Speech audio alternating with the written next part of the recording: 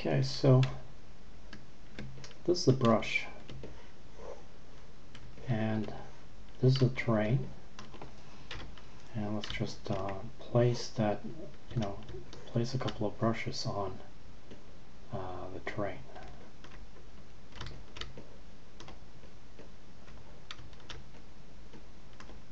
Undo multiply place mesh and use these settings right here. If I hit populate you'll see that it populate, populates those polygons the selected ones. Uh, you can undo and do it over again and get a different result. So do that as many times as you you like until you're sat, um, satisfied I think this is okay. Um, now I'll take this selection expand it and uh, you might deselect some of these guys just to make things run a bit faster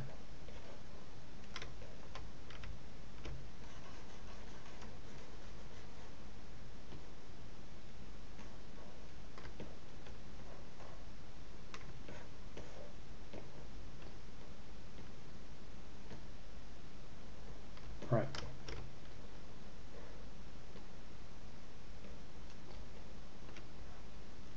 Um, yeah, I'm just going to call that temp. And it has the same surface. I made this surface before. But uh, it has the same blue surface. It's just a temporary selection really.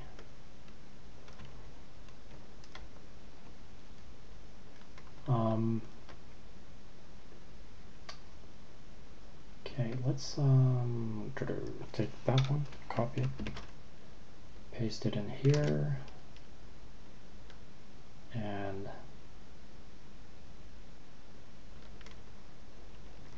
let's um, move it up. This one we use heat shrink, so modify heat shrink and use the minus and amount 100 actually well you can see that it doesn't look like much. So that's why oops that's why I have this selection and we're going to metaform it twice.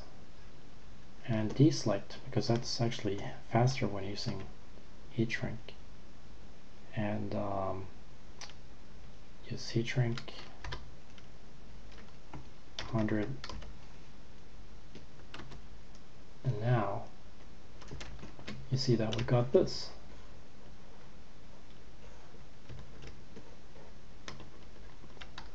Can um, let's see. Select these guys again and subdivide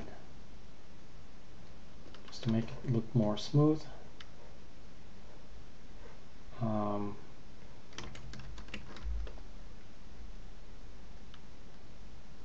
actually, to make it run a bit faster, because after all, Ledger is not that fast.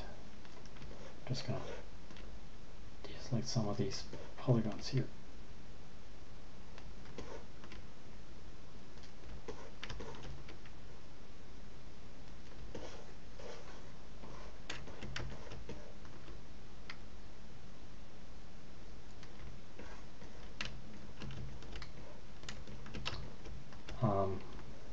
Okay, and go like that. It's a bit better. Um, okay. So what? Well, basically close to done. Uh, what I could have done now, I could have made a, a morphed displacement and that is basically just creating a morph and using the airbrush um, to uh, displace um, the object or the terrain but that's can it can be quite slow. Um, it would be in, in this case. So in this case, I'm just going to use um, drag network tool and to tweak this. So you can see it's quite alright. But again, if if you follow the link that um, that I'm, that's going to be on this YouTube video, then um, you can see how how you can go about it another way, but it's it's going to be slow with this many polygons.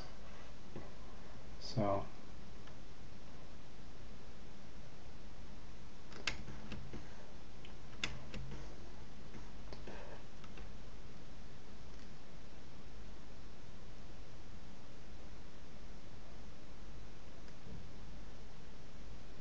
what you gotta remember about the drag uh, network tool is that um, you need to hit a vertex or a point. If if this tool doesn't hit uh, a point, a vertex, if it take for example like the mid of this polygon, if you click, nothing is going to happen, which is kind of like annoying, but that's how it, how it is. So sometimes when I do this, nothing will happen, which is a big pain. Anyway. Um,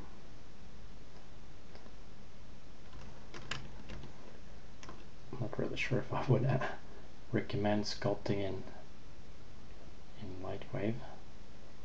Sure you rather do this in another application, 3D-Coat or ZBrush, something like that. Um, but I'm just really showing you what you can do. So um, if you want to add more detail here, can do that quite easily by metaforming again. You can metaform twice. Um,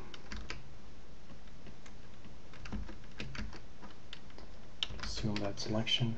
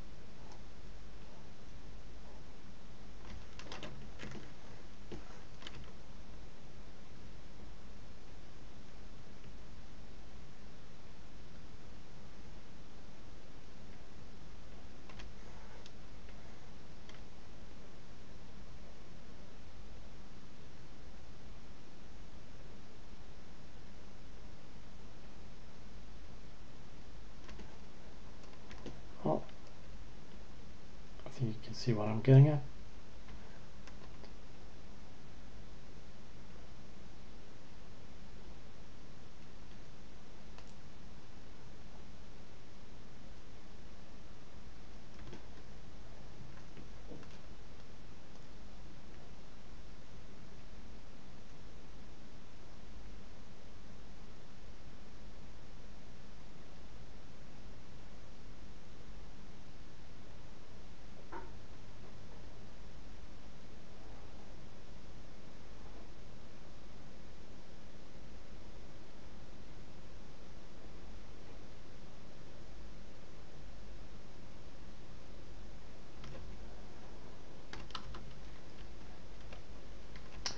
So this of course takes a long time if you want to do it in Modeler, but the option is there.